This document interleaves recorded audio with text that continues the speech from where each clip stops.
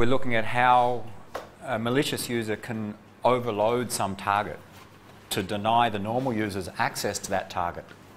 Okay, so we've started going through some scenarios. We are looking at a, a simple ping flooding attack where there's some target computer where the malicious user wants to stop people accessing that target computer.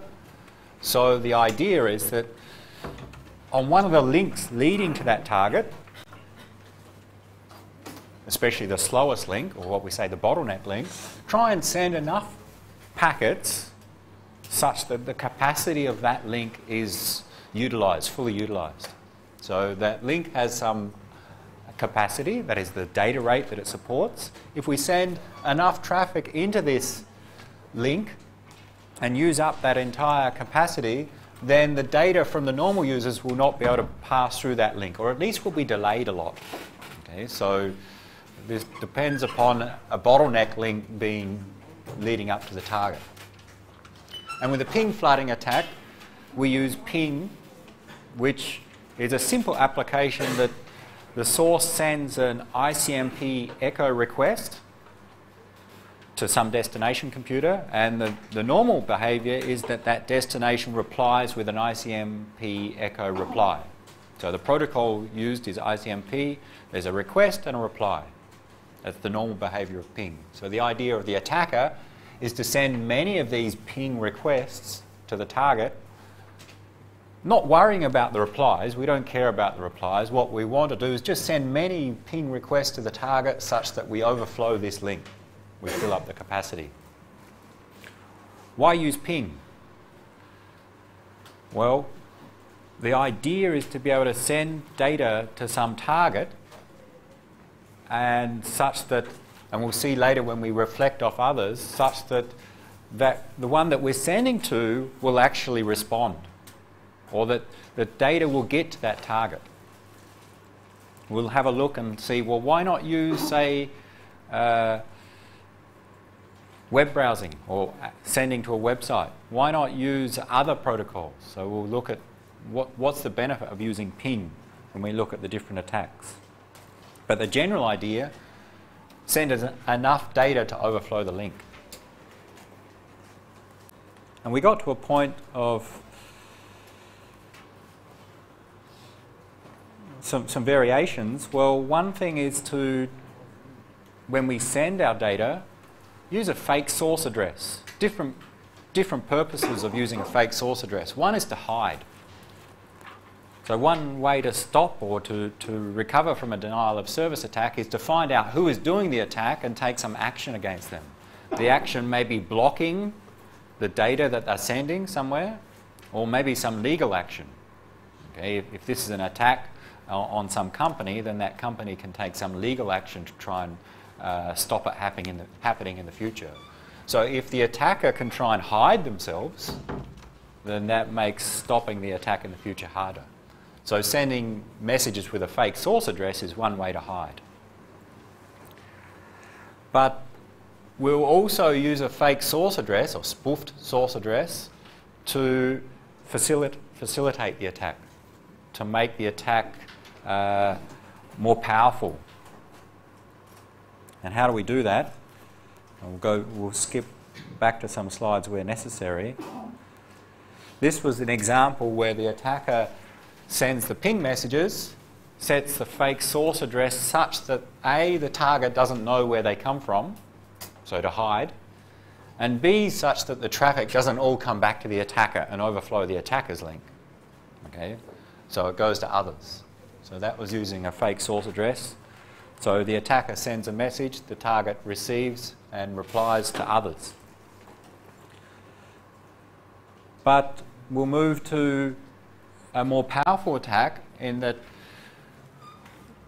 send the message to normal computers on the internet, so just some other random computers on the internet, with a fake source address where the source is that of the target. So this we send a ping echo request to this computer. This one receives it. And this one looks, okay, I just received a message and the source address was from the target IP address. Therefore, I will send a reply to the source. So I'll send a reply to the target. And the attacker sends similar pings with this fake source address set to the target to many computers on the internet, and they all reply with a ping reply to the target. So this is, we, re, we are reflecting the pings of these normal hosts in the internet. And this is a typical form of a denial of service attack. Now, from the target's perspective, does it know that it is under attack? Well, in the previous case, from the target's perspective, it's receiving pings from multiple different source addresses because they have a fake source address, so it's hard to tell that it's under attack because it's receiving pings from many different computers. And the same in this case, it's receiving pings from different computers. And in fact, the ISP of the target is receiving the pings from many different locations, different paths across the internet. So it's quite hard to tell whether this is just normal users sending traffic or if it's the attack.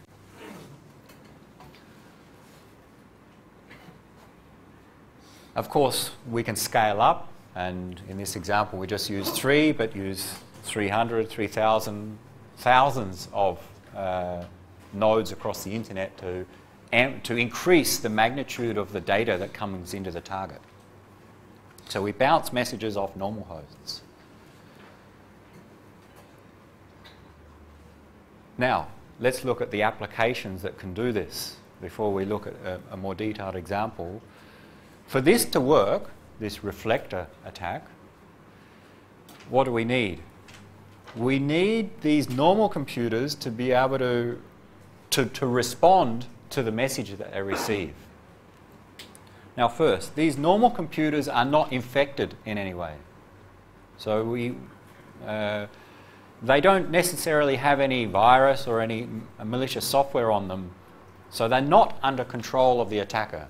They're just normal computers on the internet. Okay. So the, we need a protocol such that if we send a message to these normal computers, they will respond. Now, that limits the set of protocols that we can use in such an attack. If we were using, say, HTTP GET requests, we're trying to use web browsing as the protocol here from the attacker's perspective, if they send a message to a web server, then how many normal computers in the internet run web servers? Not many. Okay. But most normal computers in the, in the internet respond to ping requests because it's a typical behavior of a computer that built into the operating system. If you receive a ping request, you send a ping reply. Most computers do that. But not many computers run web servers. So that's why we use ping here. Because most normal computers use will respond, the attacker sends a message to them, they receive a message, so they respond. Now we're omitting information that we're going to cover later about firewalls and so on. We're assuming that they can be reached. So ping is very easy to use because most people, most computers will respond to it. Whereas other applications, web browsing, uh, emails and so on, not all computers will respond to an unsolicited message that they receive.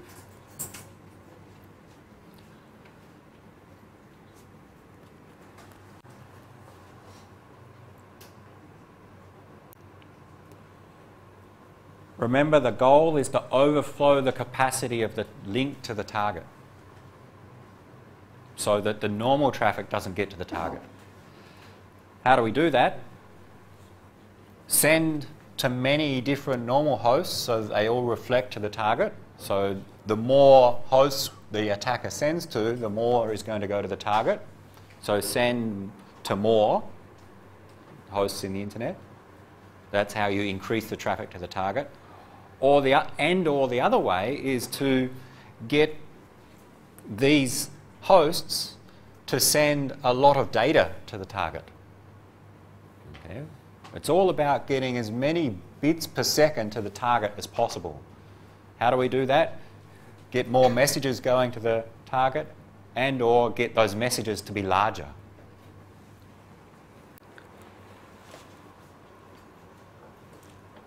And some real attacks in the internet, denial of service attacks, try and take advantage of the fact that some protocols, the response will be larger than the request.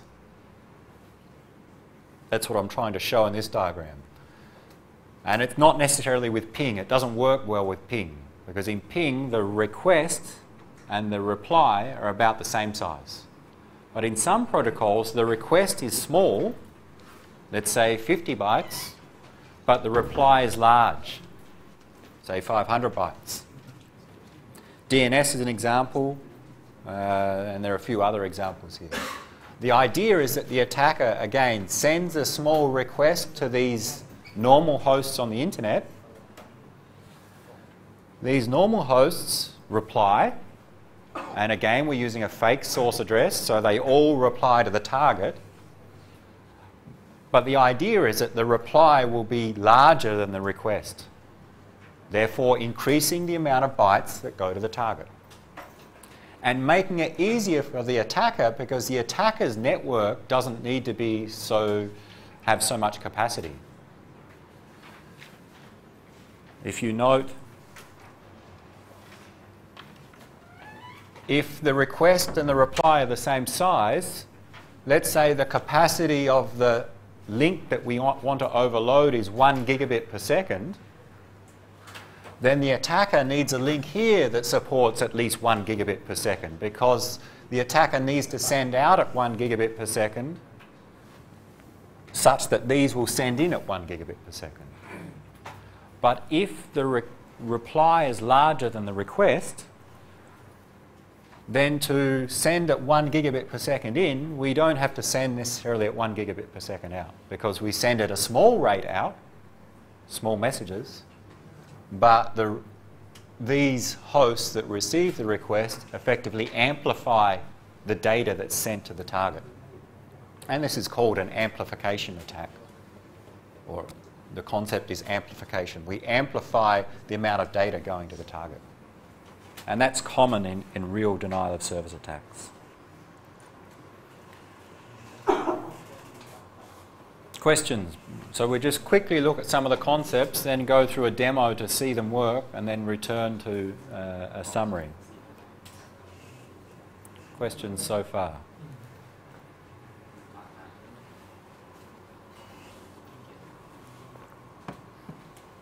Can, can we have send a some request and to do the, the different to download the some uh, to download some data. Now, remember, for, when we're using these, when we're bouncing off these normal hosts, for this to work, these normal hosts must respond to the data, to the packet that they receive.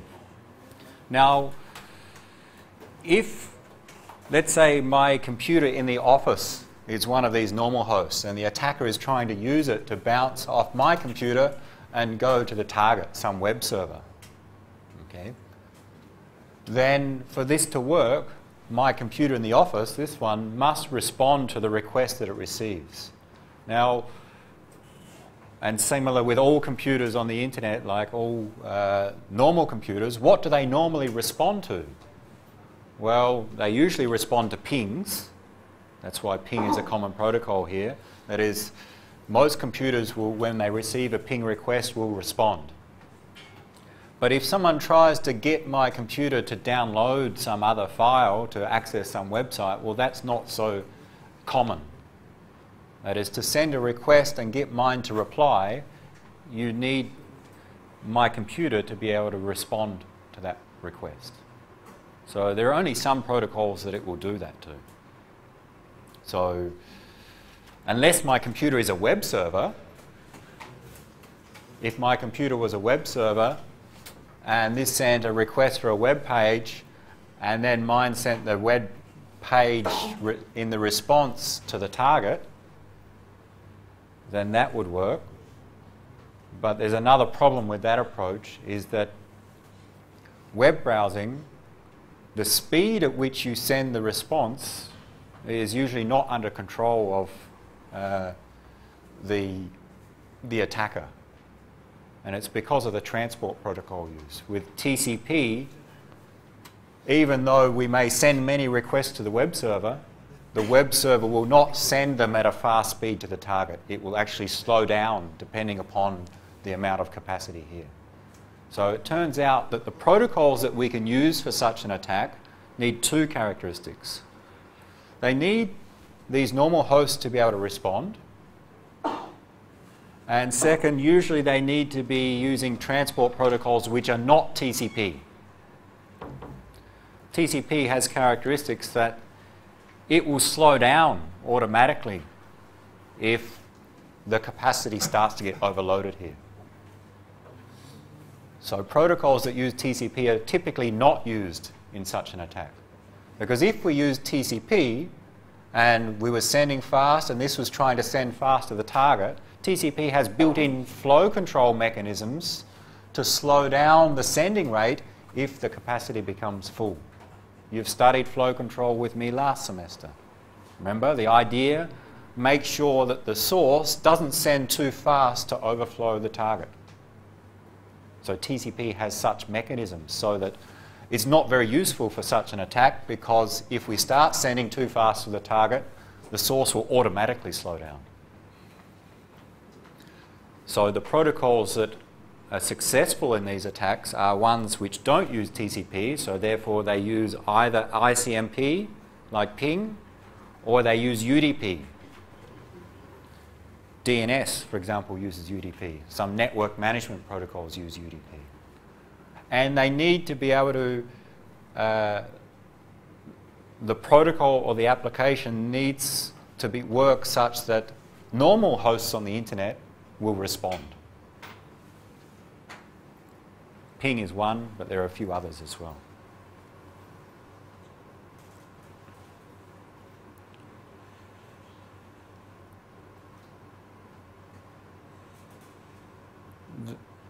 Another form of amplification attack. In this case, we send, let's come back to ping, we send one ping message to this one and the attacker sends a ping request to another one and to another one. So let's say it sends three ping requests in parallel.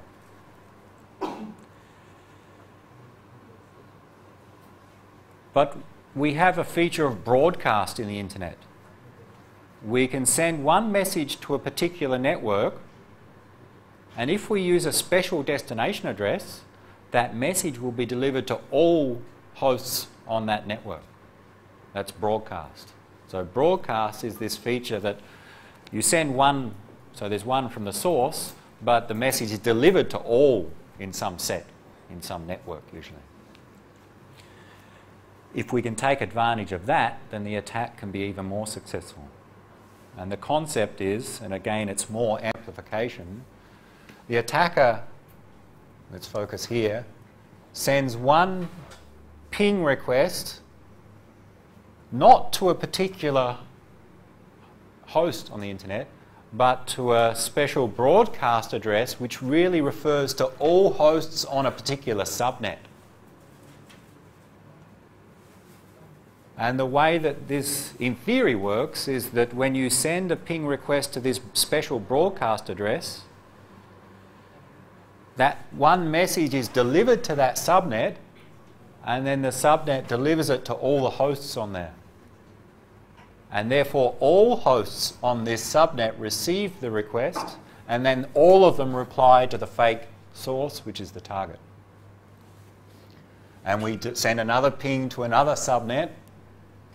That message is delivered to all hosts on that subnet, and then they all reply to the target. So this is again amplification in that the attacker is sending just three messages, but what comes to the target is multiplied based upon the number of hosts in each subnet. Okay, that's the idea here.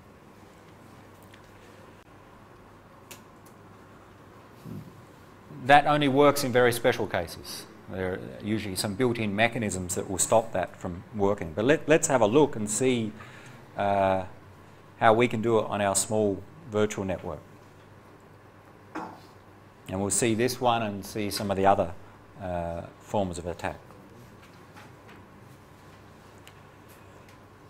So last lecture we I gave a, a, quick demo and we'll continue with that. And again, I'm using a virtual network and I've added some more annotations here. There are eight nodes in our small network, our small internet. We have a target server. This is the one we want to overload. Overload in terms of we don't want others to be able to access it. Let's say it's a web server. It has a website and we want to stop other users from accessing that website or at least slow down their response time. So when they try and access, it takes a long time to get a response. That's our aim as the attacker. This is our, uh, this is the target server, computer A, computer 7, node 7 is a router. So this is a, forget about the, uh, the rectangle net C, this is just a switch. So think of this as the link between router and target. And this is our bottleneck link in this example. That is, we assume this link is the slowest in the whole internet, and that's the one we're trying to overload. Remember, we're not trying to overload the actual computer, we're trying to overload the link. Send fast enough such that this link is fully utilized. And I'm going to set this link to have a capacity of 100 kilobits per second.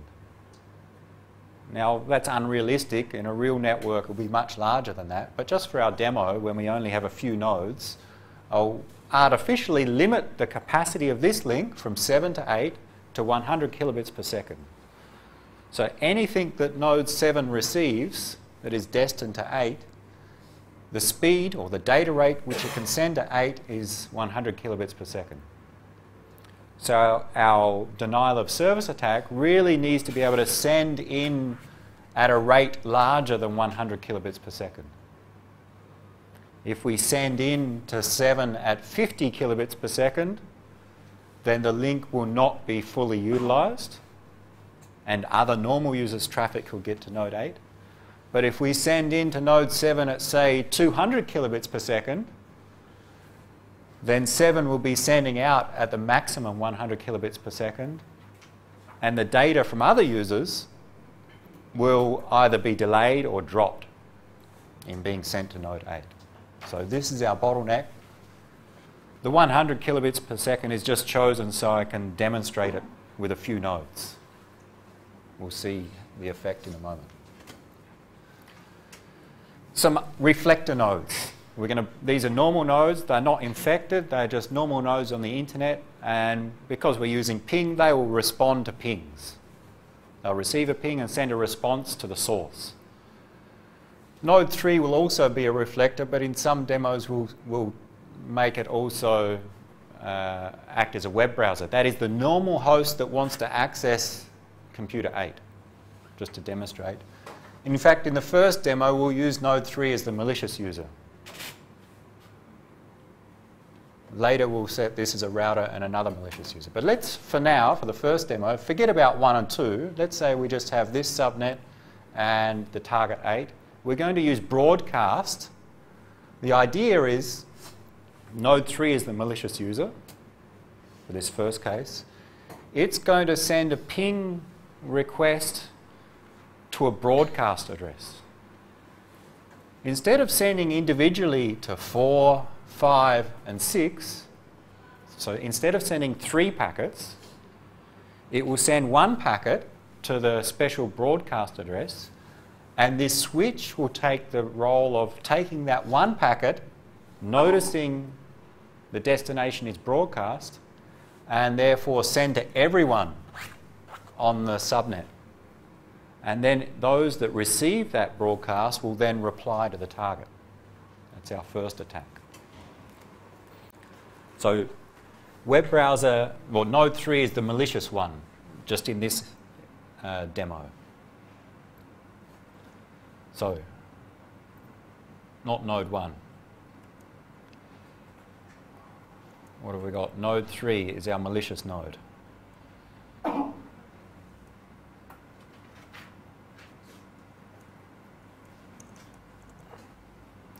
Node 8 as our target. Node 7 is this router. Uh, actually, we don't want node 8. We want, what I want to show is that node 3 will send packets. Nodes 4, 5, and 6 at least should receive and then send to the target. So let's look, we're going to look at what node 3 does to initiate the attack. We'll look at maybe, let's say, node 5 and see what it receives. We will not look at what the target does. What we'll do is we'll look at the data coming into node 7 and how much goes out. Remember, the capacity here is 100 kilobits per second. We want to send enough data into 7 such that the amount coming out reaches 100 kilobits per second. We want to fill up the capacity. So let's look at 3, 5, and 7, for example. So I need to log into node 5, which is node 5 has IP address 192.168.2.23.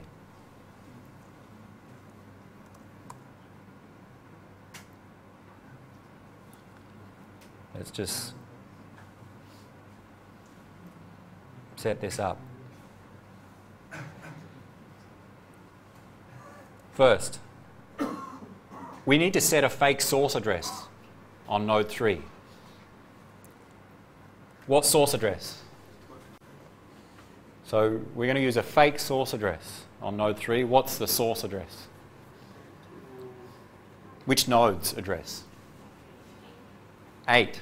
Okay? So the idea again is to send a message, a ping to the nodes in this network, and they will all reply to 8.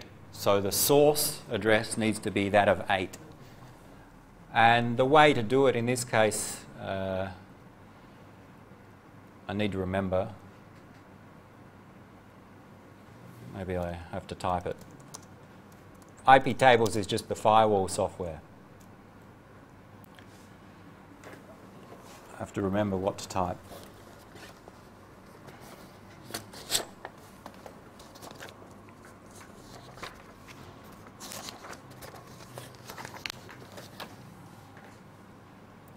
And it allows us to change addresses of the packets that we generate. So normally we create a packet and the source address will be node 3's address, but IP tables will allow node 3 to change the source address. You don't need to understand the details of how that works right now. Post routing means after we create it, anything that's ICMP, let's use some network address translation, and this is the main part, set the source address to, and it's wrapping around now, 192.168.3.31. No. Let's try. I need a password. Did I get it correct? Okay, no errors. So this is just the way to set the the fake source address. Maybe a bit easier to see. We'll see that work in a moment. Let's just do a simple ping to just one node. So I'm going to ping just for start a single ping to node 5 and 5 will re respond to 8. Let's just see that work. And let's just make this so we can see and on node 5, what I'll do is, just down the bottom, is run TCP dump. If it's too small, we'll eventually make sense of it. Run TCP dump so we can see, from node 5's perspective, the packets coming in and out. I'll zoom in in a moment.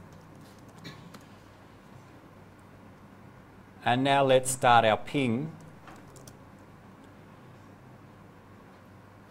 And with ping, we can set the interval of the ping. Let's say two per second, two packets per second, which is an interval of between the pings that we send of 0.5 seconds. So every 0.5 seconds, node 3 is going to send an echo request. And let's set the size of the request to 972 bytes. This magic number comes from the fact that when we add on headers, the total size will be 1,000 bytes, just to give a nice round number. And ping who? Ping which address? Node 3 pings node 5. Okay, just to, for this first demo. That is, send a ping message to here, this one should reply to here. Node 5 is 2.23.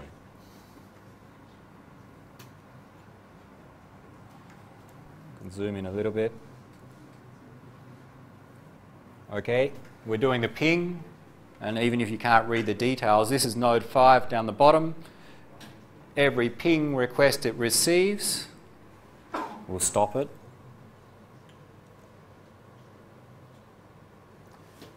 It receives a message, the way to read this, ICMP echo request from 3.31 to 2.23 and therefore the echo reply goes from node 5, 2.23 to 3.31 and 3.31 is our target. So this is the, the reflection happening.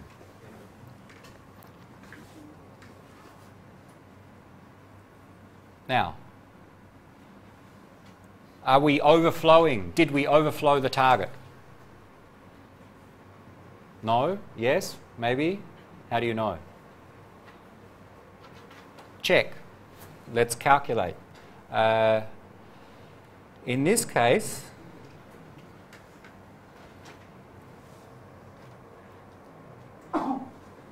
the let's say every packet is a thousand bytes. Okay, the ping request and reply are a thousand bytes, or approximately. Okay, we see that's why I set to 972. So one packet is 1,000 bytes in length. In this case, we were pinging from node 3 to node 5 at a rate of 2 packets per second. 2 packets per second it sends to node 5, and therefore node 5 will send to the target at a rate of 2 packets per second. Node 5 receives 2 pings per second, it replies with 2 pings per second. So how much data is being sent to the target if we're sending two pings per second, each ping is 1,000 bytes, that's 2,000 bytes per second being sent to the target. 2,000 bytes is 16,000 bits per second. Okay, bytes to bits. That is the amount of the amount of data going to the target is 16 kilobits per second but our capacity of the link here is 100 kilobits per second. 16 should be no problem. It's not overflowing the capacity. Rather than having to calculate that all the time, let's look on node 7 and let's monitor what we receive. And there's another program we'll use, it's called IPTraf to, to measure the traffic on node 7. It provides a simple graphical interface to monitor what comes in and out of this computer. And I'll just look, there are many diff different statistics. We'll look at the general interface statistics and we'll see why. For node 7, there are four interfaces.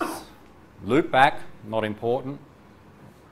Ethernet 0 is just for this node to access the real internet. We're not going to use that. Ethernet 1 and 2 are the interfaces of interest. This is node 7. Ethernet 1, ETH1, this interface is going to receive packets. And, sorry, there's a mistake in this picture. This should be ETH2 here. Okay, this should be ETH2.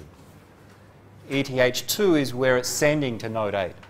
So think of input to ETH1, output to ETH2. So we, this is a 2 here.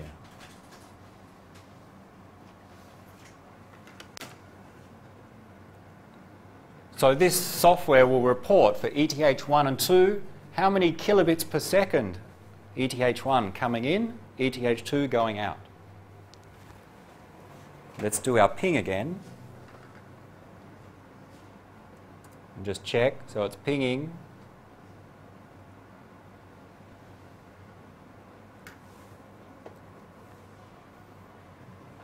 What do we get? 20 kilobits per second coming in and out. 27. It, it calculates every few seconds and keeps the average over some period of time. What do we say? One ping would be 16 kilobits per second. Okay.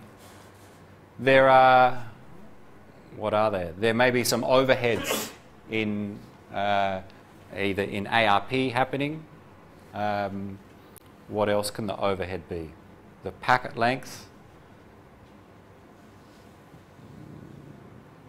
I can't think of any other overhead. So 16 kilobits per second is based upon our 1000 byte ping packet, but we have a, a little bit more in this case. It's a little bit more than I expected, but close enough to 16. Let's see. Remember, we need to get this up to 100 kilobits per second. ETH2, it can only send out at 100 kilobits per second. So far, we don't have enough. Let's now try a better attack. Before we pinged to a specific node, now let's ping to the special broadcast address. 192.168.2.255 is a special address which means send this message to everyone on this subnet.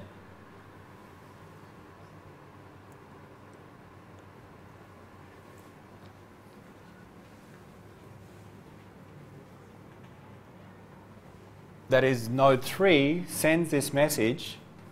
It sends across the link to the switch. The switch sees it's a special broadcast address, this 255 address, and then realizes, okay, I need to send a copy to everyone.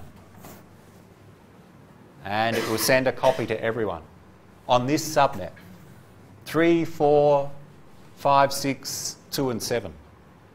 They all receive a copy because they're on this subnet, and they, they will reply and reply to the target. Let's try it.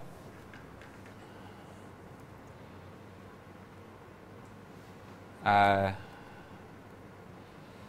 the reason I just realized why it was at 25 is because we're logged into node 5. I think. I'll log out.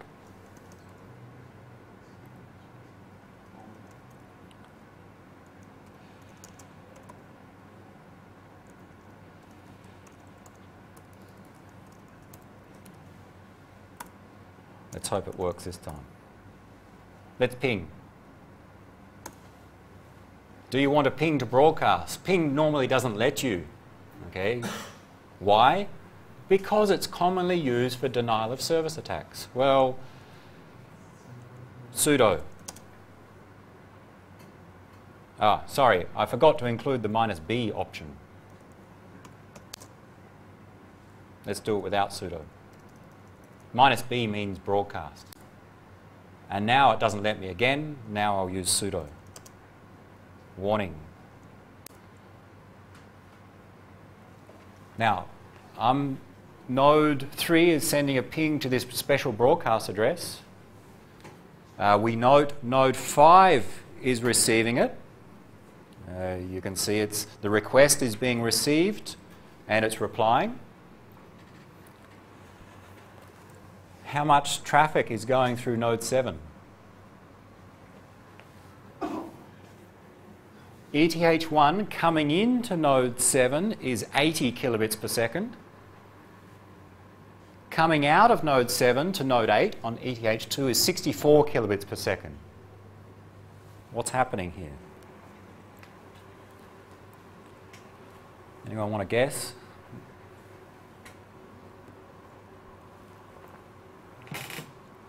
Let's write down the calculations to see.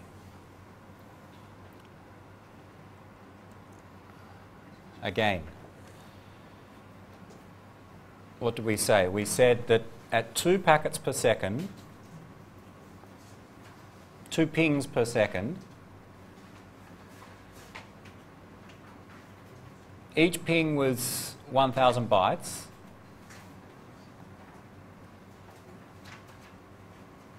Means that for one ping being sent, there is 2,000 bytes or 16 kilobits per second.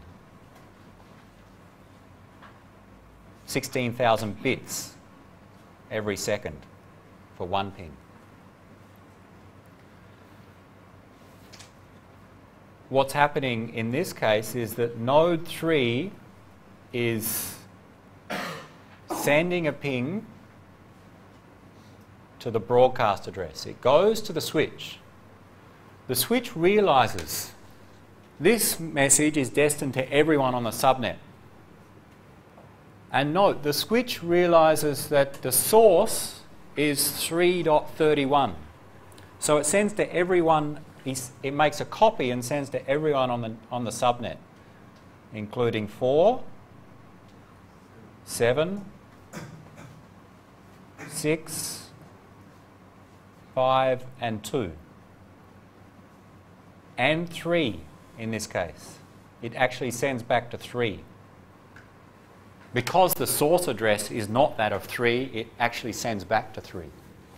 So this is the broadcast. Send 1, everyone receives.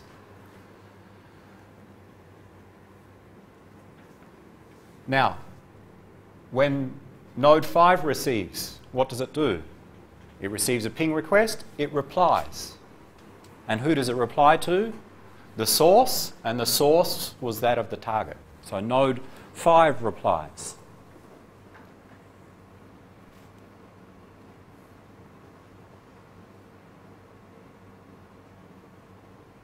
It'll go to node 7, which will then send it on to node 8.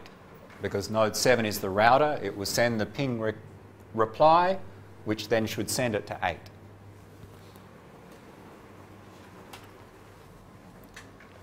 Node 6 will do the same. It replies. Node 4, the same. Actually, node 3 does as well. 3 receive the request, 3 sends on.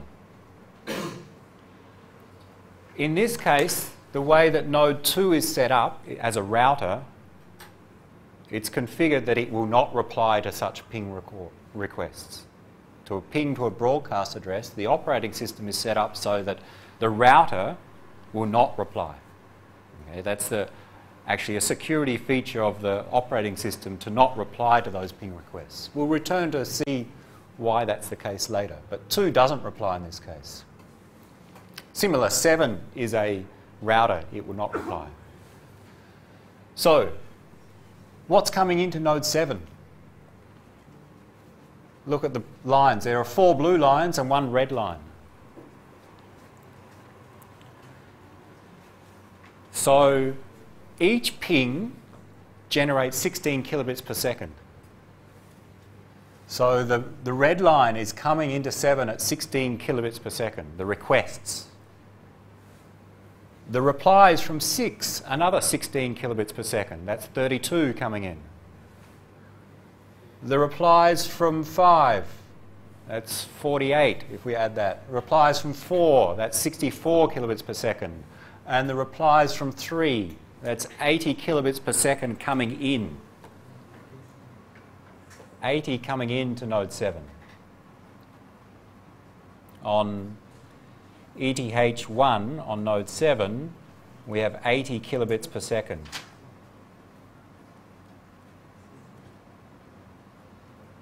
What comes out? Actually, all those blue ones should come out.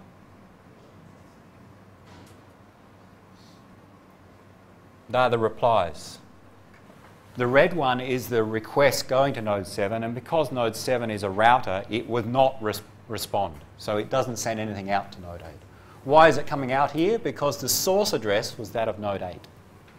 So there are how many kilobits per second going from 7 to 8? How many kilobits per second?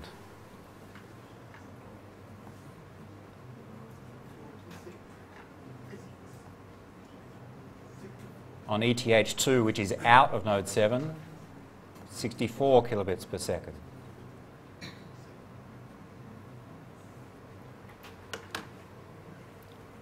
That's what we expect. Is that what we see?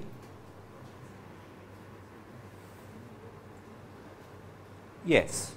Okay. So the demo is working in this one. Coming into node 7 at a speed of 80 kilobits per second, because there's also requests coming in, and coming out at 64 kilobits per second. We care about the coming out, really. 64 kilobits per second. Capacity 100, we haven't reached our capacity yet. How are we going to reach the capacity? How do we increase the amount that 7 sends out to 8? Again, put on your black hats. What are you going to do to make the attack more effective? Again, more. More pings. We were sending it 2 per second. That is every half a second. Just reduce the interval. Let's send at what? What do you want to send at? How many per second? 10? What's the minimum that you need? Well, remember with four nodes sending, we don't have any more nodes, so we can't increase the number of nodes. We're going to have four sending. We need to reach 100 kilobits per second, so each of them should be sending at 25 kilobits per second. How do we achieve that? Well, all right, let's try what? Five pings per second would be 5,000 bytes per second, which would be, sorry, yes, 5,000 bytes per second would be 40 kilobits per second. Five pings per second would be 40 kilobits per second, times by four would be 160 kilobits per second coming in. Let's try it five per second. That is, the interval is 0.2. Okay, five pings per second. Send to the broadcast address. All right, just on node 5, its receiving should be 5 per second. What about node 7?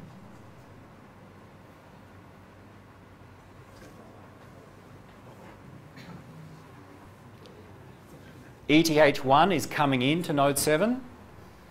Remember, each one sending at 40 kilobits per second. We actually have five coming in, around 200 kilobits per second coming in. But coming out from node 7 to node 8, look at the amount being sent out.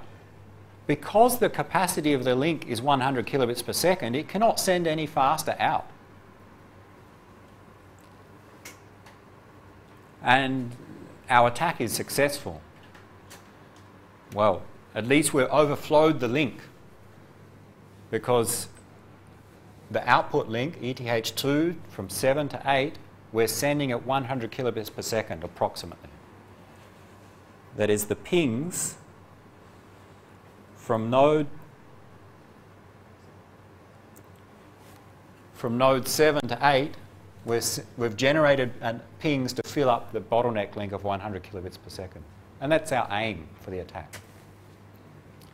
Very easy in this case. Just ping to the broadcast address and everyone responds to the target. Questions on how that one worked?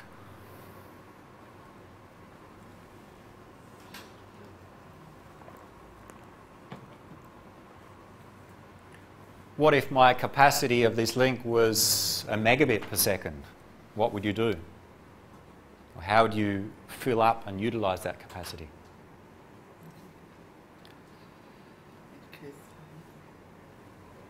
What, what do you need to, if the the bottleneck link is, has a higher capacity, what do you need from the attacker's perspective? Send, send faster, okay, send at a higher rate. So instead of two pings, five pings per second, 500 pings per second. Note that that requires some capacity from the, the source node, the attacker's perspective. So yes, we can send very fast, but that starts to use up the attacker's own resources. So yes, we can in increase the sending rate. What else would enable a, an attack on the higher bottleneck link? Yeah. Change the protocol. Okay, how? I mean, what, what would the new protocol characteristics have? Like DNS, because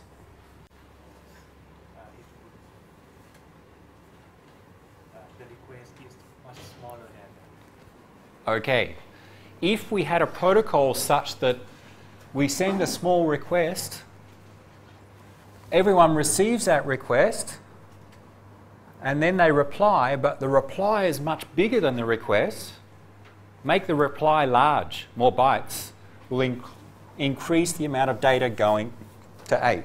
So yes, a different protocol may enable us to do this amplification by sending small requests requires just a small amount of resources from node 3, but generates large replies, which again overflows. Different protocol would enable that. If we're stuck with ping, what do we need? What else? Not in this network, in general. Increase the number of nodes. If we had a larger subnet, okay, we just send one ping it goes to everyone on the subnet. So let's say the subnet was, say, for the SIT, one of the labs. Then there are 40 computers in the lab. You send one ping, all 40 computers reply and go to the target. So it's quite easy, in fact, in that case, to send one message and get many to reply using the broadcast feature. Let's stop this.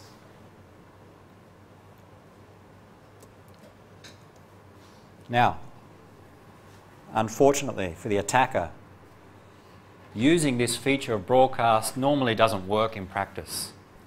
Why? Because it's so easy to do a denial of service attack, send one message, everyone in the network replies. Most computer systems, most operating systems and network devices block such a feature. They don't respond to a ping to the broadcast address. So to set up this demo, I had to modify my operating system parameters such that it would reply. By default, these computers normally will not reply to such a ping request because denial of service attacks are very easy if they do. So normally routers will not allow a ping to a broadcast address. So this one will not send it out.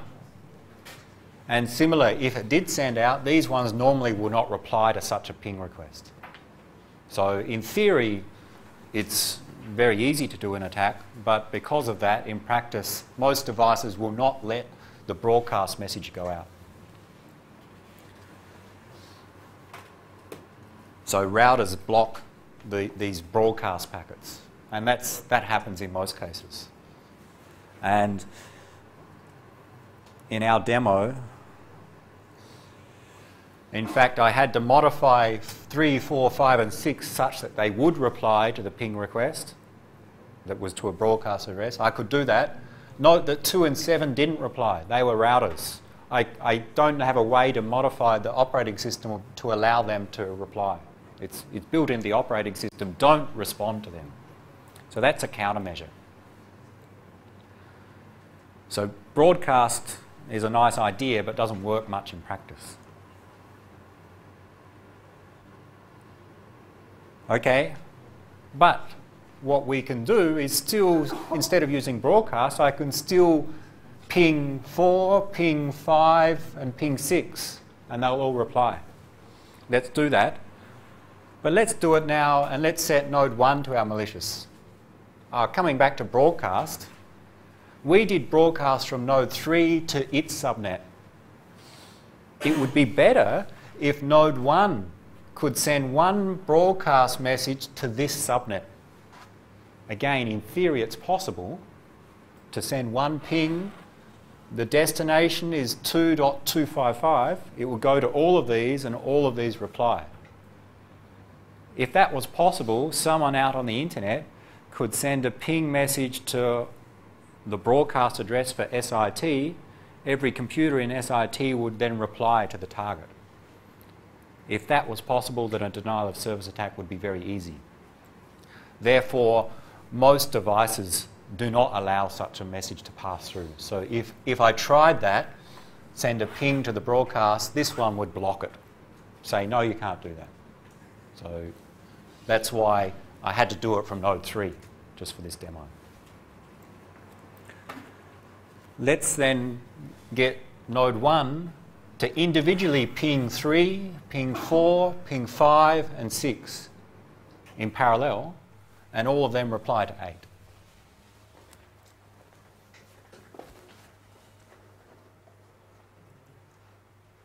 Let's go back. Node 3 is no longer our malicious node.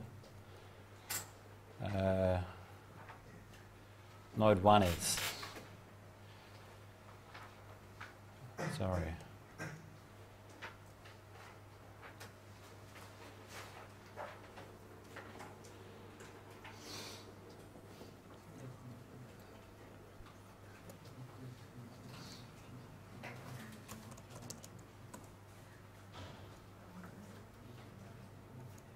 Node 1 is our, going to be our malicious node. Now for node 3, we need to remove this, this fake source address. It's back to a normal node. Delete this face, fake source address in node 3. We won't need node 3 at the moment, we need node 1. And let's give it a fake source address, same as before.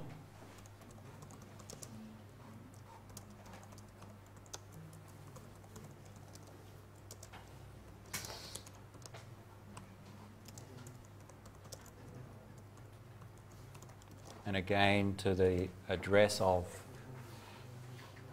the target, same as before. So node 3 is going to send packets, and it needs to send packets to 3, 4, 5, and 6 at the same time. So what you do is you just run ping in the normal mode, ping node 3, and then at the same time ping node 4 and 5 and 6. So to do that, actually, you need to open up four different terminals. Okay, you can do it. But i to make it a little bit easier, I created a script that will do it automatically for us. So I created something called ping many. And it will ping as many nodes as I, as I list. It takes, from memory, it takes the parameters of the interval and the size. So let's use our same interval as before.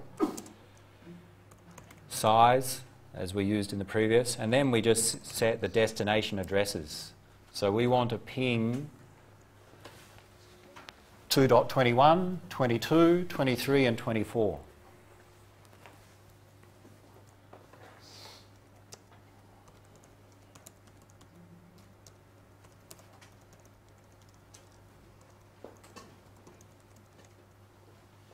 Ping many nodes at once.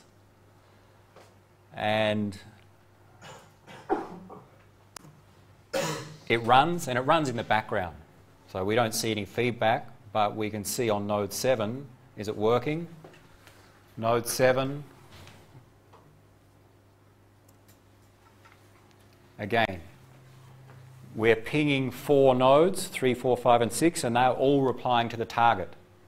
Therefore, coming into the router, node 7 on ETH1 is four times, we're doing two pings per second, four times 16 kilobits per second, 64, and coming out around 64 kilobits per second. Now, we need more. We need to get up to 100. So as we did before, we just increase, increase, stop them and increase the, uh, the rate re reduce the interval.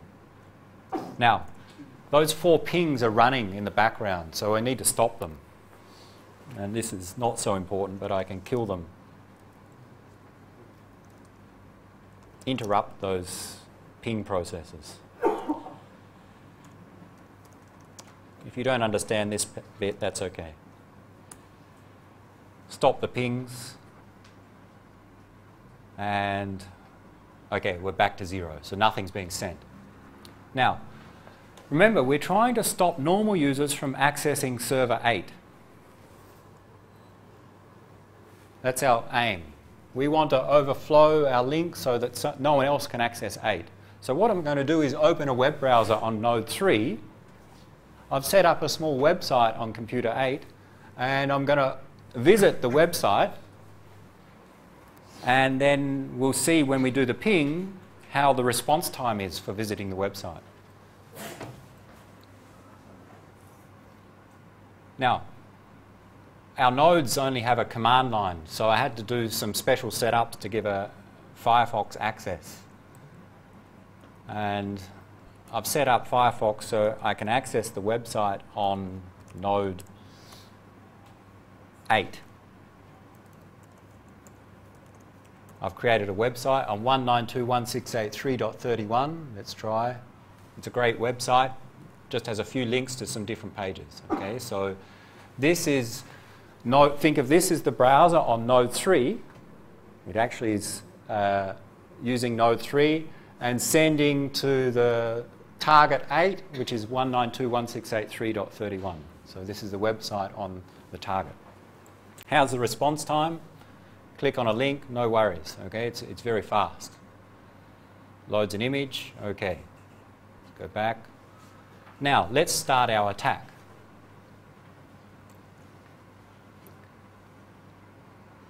But with a different interval. And an interval of 0.2 means 5 packets per second. 5 times 1,000 bytes is 5,000 bytes per second. 40 kilobits per second from one node, but we're pinging four nodes, so those four should respond generating 160 kilobits per second, 4 times 40. And our capacity is 100. We're sending at 160, so we should overload the link. Let's try it. Let's check. Is it working? Why is it slow? There we go coming in at around 160, going out the capacity of 100. Let's see on our browser now on node 3 the response. I'll re reload. Node up here, it's loading the page. It's not responding very fast at least. Let's try something else. Let's try to link to page 2, connecting Node 3 trying to browse to the target web server is getting no response. So the denial of service is working in this case. We're denied access to that website. It may connect or it may, so why is it not connecting? So waiting down here. What's happening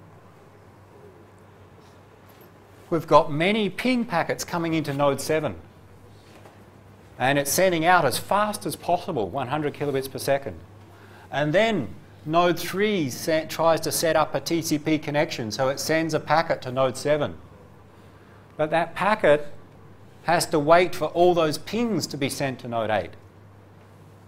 So there's a large delay at node 7.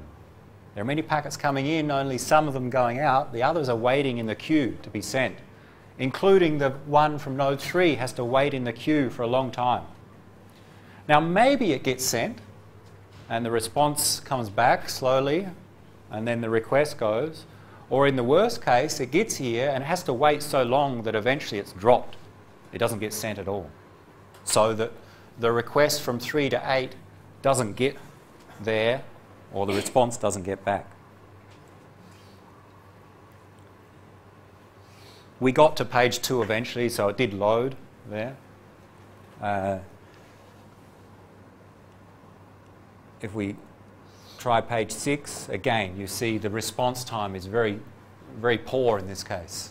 It's trying to send its packets to node 8, but all the ping packets are going to node 8.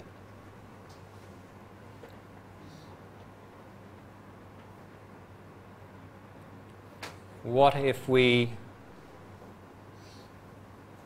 stop that one and just modify a little bit. Uh, let's say two and a half packets per second. So in this case, around, is this right? So again, around 100 kilobits per second coming in, 100 coming out.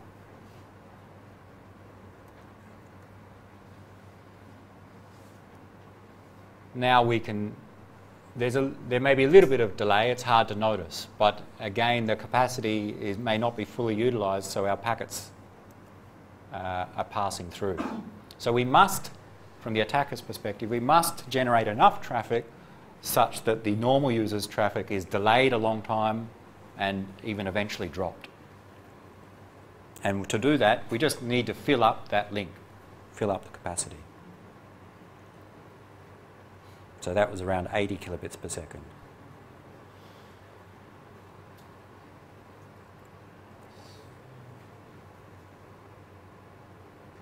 Questions? Can can Node 7 do a limit for the link request? I mean, for, for the ping and let uh, web server Okay, so what, how do we fix this? How do we stop such an attack? There are different ways. Yes, one thing that Node 7 could do is that it's receiving many pings coming in. So one thing that Node 7 could be set up to say, okay, my capacity is here is 100 kilobits per second. If I receive pings at a larger rate, don't try and send them. Drop them immediately so that the web traffic can get through. So give priority to some web browsing traffic going across this link compared to other traffic, the ping traffic.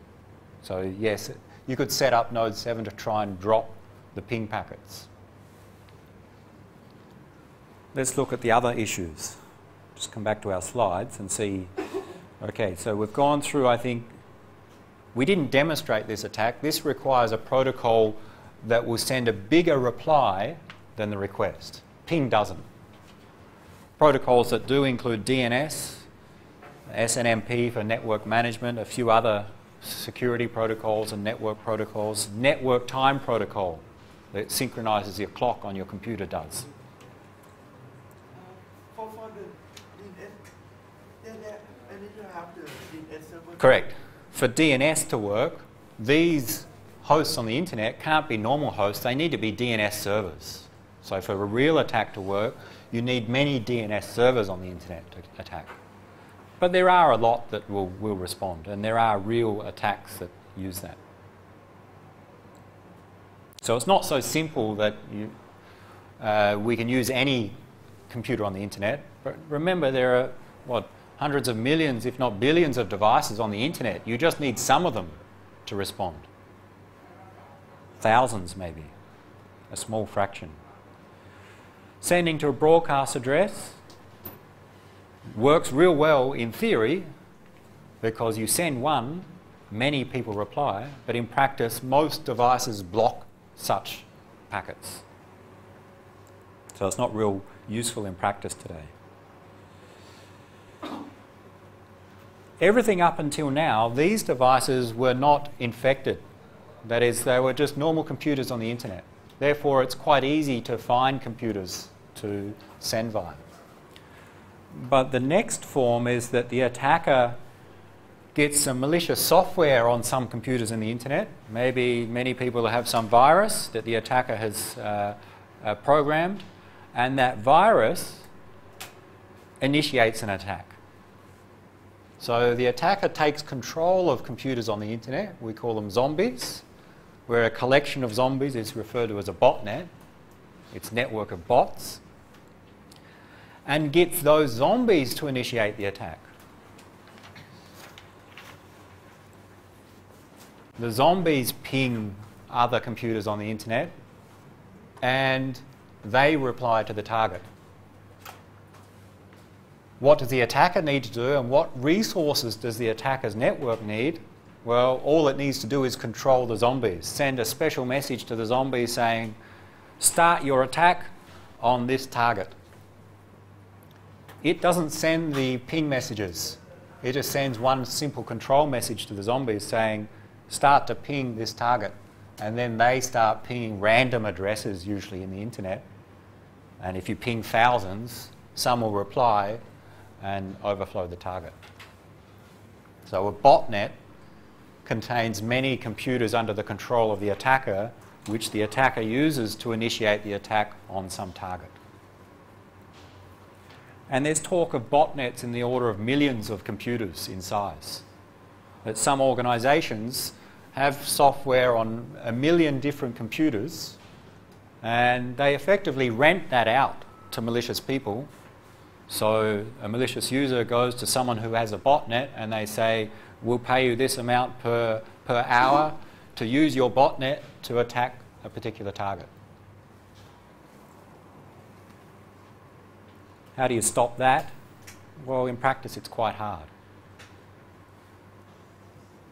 It comes back to making sure or limiting the, the chance of uh, someone taking over the computer. That's important. So, making sure that malicious software cannot be installed on these computers, antivirus and so on. And once uh, discovered, there are some techniques to try and redirect the traffic so if an attack starts, then the internet service providers can try and block the traffic before it gets to the target. But many real denial of service attacks use this approach. And again, from the attacker's perspective, they are hidden even further because tracing back, the target traces these normal hosts, then going back, traces back to the zombies, and then from there you need to trace back to the attacker. So finding the attacker is even harder.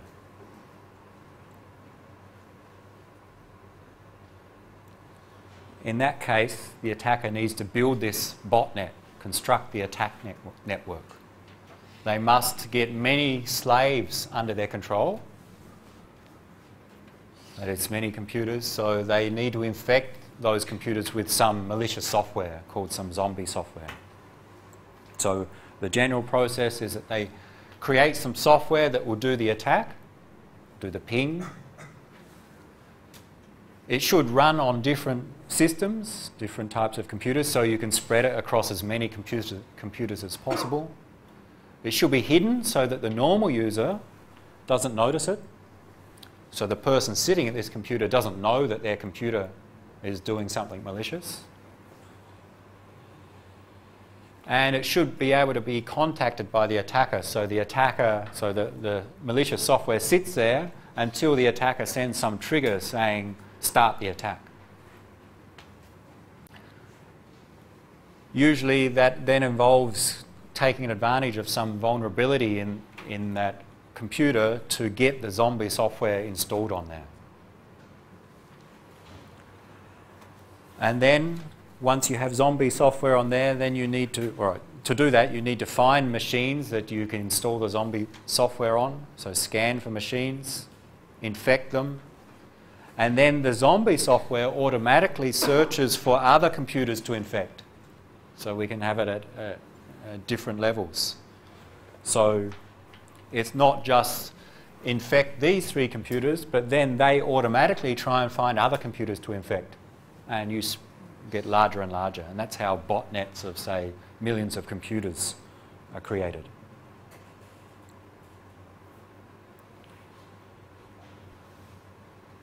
To, to close, how do we stop all these attacks? And we, we're at what's called distributed denial of service attacks. A normal denial of service attack, think there's one computer doing the attack. But in fact, for practice, we have many computers doing the attack.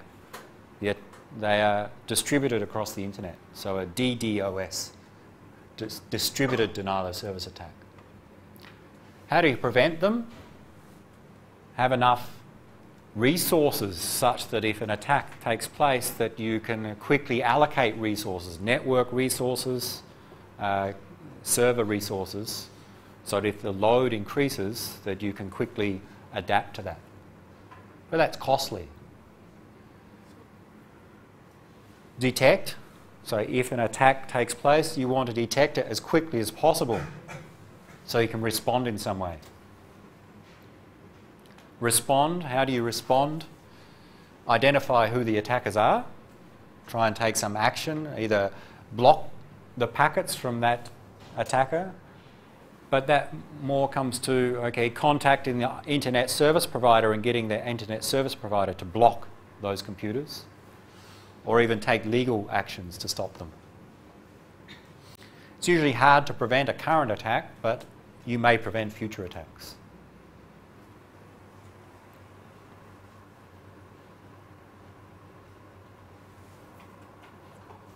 So denial of service attacks try to prevent normal users from using the network, the system, the computer system, applications on those systems.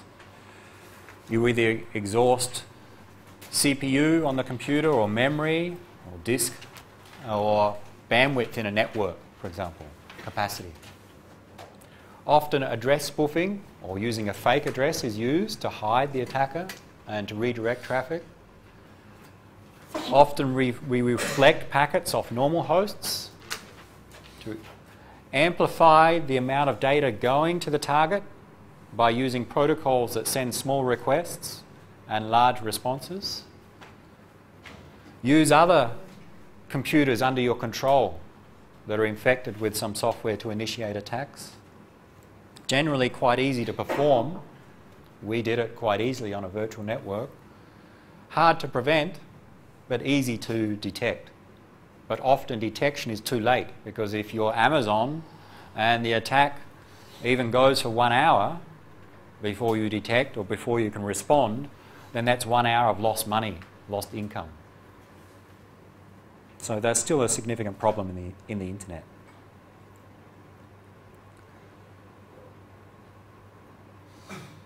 Have a look at some of the other areas to explore. We will not cover through them if, if you're interested further.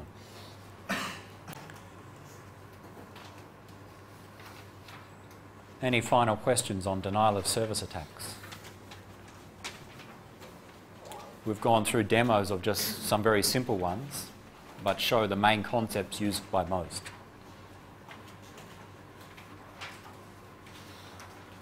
Try, if you like, the attack, the demo that I did, you may be able to modify, you may be able to even do uh, attacks with different protocols. I think you could try DNS or NTP to do even a more advanced attack. But of course, if you try anything, just do it in a virtual network. Never do it in a real network. Okay? And it's very easy to do it. Yeah? Uh, the instructions for everything I did are linked to from the course website. Okay, so you can read everything that I did there, all those commands, so you can copy and do it yourself.